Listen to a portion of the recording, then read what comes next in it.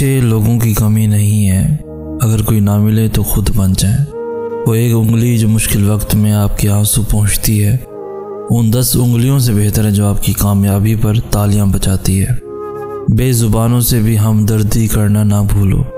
ये बग़ैर लफ्ज़ों के दुआएँ देते हैं। हज़रत इमाम हसन अलैहिस्सलाम ने फरमाया, इंसान की तबाही तीन चीज़ों में है। तकबर हिर्स और हसद।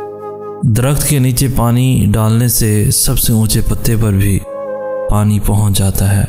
इसी तरह इखलास के साथ किए गए नेक अमाल अल्लाह तक पहुँच जाते हैं। खिदमत सबकी करें, मगर उम्मीद किसी से भी ना रखें, क्योंकि खिदमत का अजर सिर्फ़ अल्लाह ही दे सकता है, इंसान नहीं दे सकता। जैसे जैसे उम्र गुजरती है, एहसास होने लगता है।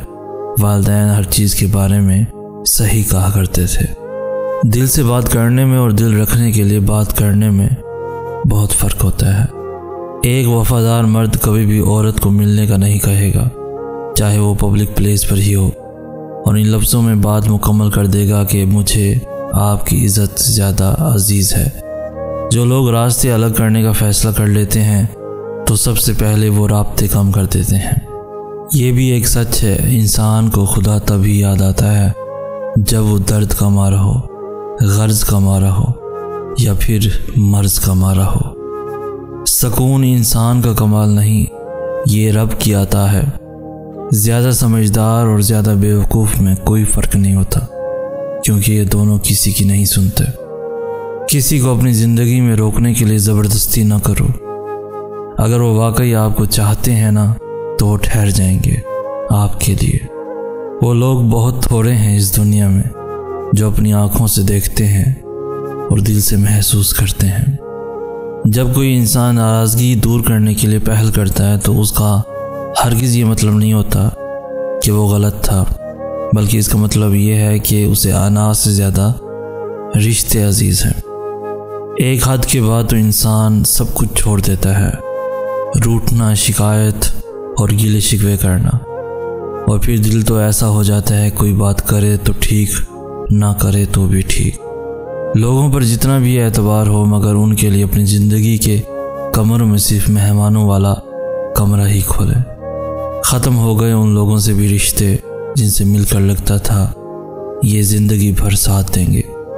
अपनी गलती मानने के लिए बड़ा ज़र्फ चाहिए, और वो ज़र्फ हर किसी के पास नहीं होता।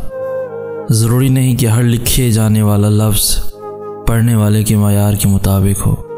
लिखने वाला अपनी कैफियत जबकि पढ़ने वाला अपनी कैफियत में होता है। मदद करना सीखिए फ़ायदे के बगैर, मिलना जुलना सीखिए मतलब के बगैर, आजजी से चलना सीखिए गरूर के बगैर, ज़िंदगी जीना सीखिए दिखावे के बगैर।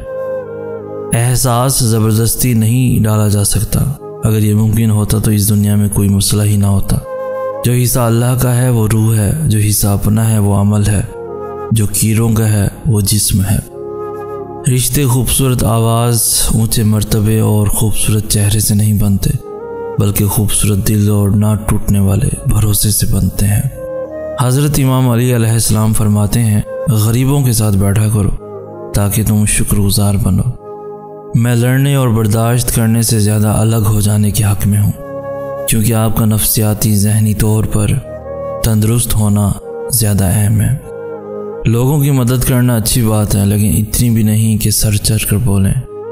बेशक एक रब ही है जो दिलों को करार देता है, मोहब्बत करता है अल्लाह तुमसे। इतनी मोहब्बत कि अगर जान जाओ तो खुशी से दिल फट जाए, और तुम हो के खुद को अकेला समझते हो। एक ये जहाँ, एक वो जहाँ इन दो जहाँ के दरमियान बस फासला है एक सांस का। जो चल रही तो ये जहाँ, जो रुक गई तो वो जहाँ। दुनिया को सच्चा होने की दलील मत दो। बस यही सोच रखो कि अल्लाह सब जानता है। तमाम रुके हुए काम और बंद दरवाज़ों की चाबी बस एक ही है, वो जिसे लोग अस्तगफार कहते हैं। जितना हो सके अस्तगफार की कसरत की जाए। हज़रत इमाम अली अलैहिस्सलाम फरमाते हैं, कायनात की सबसे महँगी चीज़ एहसास है, जो दुनिया के हर इंसान के पास नहीं होता। ये ज़िंदगी सिर्फ़ तब तक हल्की है, जब तक सारे बोझ माँ बाप ने उठाए हों। यही कहें कि नई नस्ल तो बिगड़ गई, बुज़ुर्ग लोग नौजवानों के दुख न समझेंगे। बहुत अजीम है वो मियाँ बीवी, जो एक दूसरे के ऐब छुपाते हैं। और किसी के सामने अपने शरीक सफ़र की बुराई नहीं करते। हमारे वो अल्फाज भी तोहफ़ा हैं जो दूसरों को आगे बढ़ने का हौसला देते हैं। जब इंसान बच्चों की तरह अल्लाह को अपनी मनपसंद चीज़ के लिए मनाता है, तरफ़ से गिर गिराता है तो वो मान जाता है।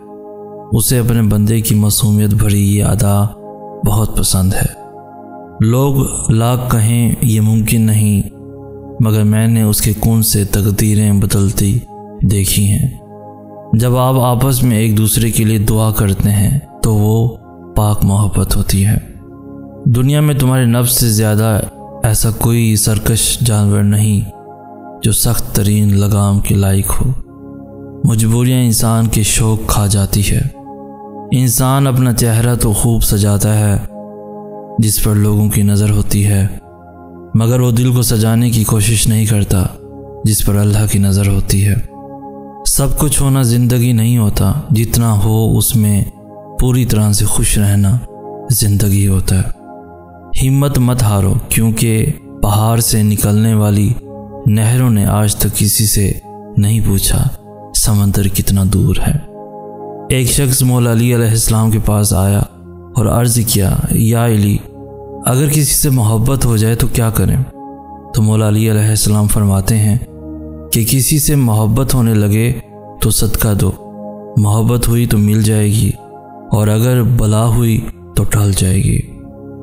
सुलह के वक्त पुरानी बातें ना दोहराओ, वरना सुलह नहीं जंग होगी। शिकायत करने से खामोश रहना बेहतर है। जब किसी को कोई फ़र्क नहीं पड़ता तो शिकायत भी कैसी? एक अक्लमंद से पूछा गया, किसी शख्स की अकल की पहचान कैसे होती है? जवाब दिया, गुफ्तगु में गलती, कम और दुरुस्ती ज़्यादा होने से। ज़िंदगी रोज़ कुछ ना कुछ सिखाती है, लेकिन बुनियादी चीज़ यह है कि इंसानों से तो कम से कम रखें और ऊपर जो ज़ात है, उस पर तवक्ल रखें। वो आजमाता है उसी चीज़ से जो तुम्हें बेहद प्यारी होती है। ताकि उस चीज़ के मिलने की तरफ़ तुम्हें अल्लाह से मिलवा दे।